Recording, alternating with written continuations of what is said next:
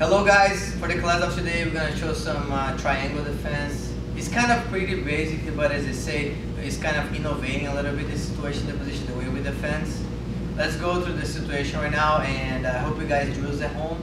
Alright, right here in the situation, what's gonna happen most of the time when I try to pass someone's guard, I grab the pants, the guy has his grip, he's playing his guard.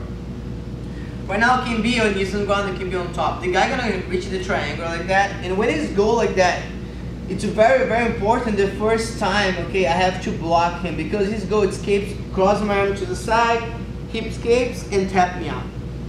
What I have to do right here, I want to both hands be on his pants like that, and what are we gonna do? I'm gonna grab the pants and I'm gonna push it down, his hips down. My elbow, okay, my forearm, I'm gonna connect it to his abs, and my my uh, my, my uh, elbow is gonna go through my leg right here and I'm gonna kind of block his hips and push him down at the same time you do not let him this leg keep this leg far away.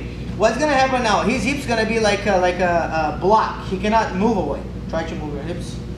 Right here. At the same time what I'm gonna do right here? I'm gonna walk back a little bit. I'm gonna put my chin down in my ear to my shoulder like this. We're now gonna walk back. And I'm gonna go this way right there. I can get out of the triangle. I can move back. As I always say, it's important you keep the progression of the situation. We're gonna connect a little bit of pass together that we can do, in which way that I can do, and what is the, mistake that I can make sometimes. One more time, here the guy. I grab the pad, the pants, block, forearm down, push down, move the other leg away, and right here. Right now, chin down, uh, Right now, chin down, move right here to the shoulder, and move back like that. When you move back, don't try to pass and go to the side like this way. Because if you try to do that, he's gonna open his leg again, he's gonna catch in triangle again.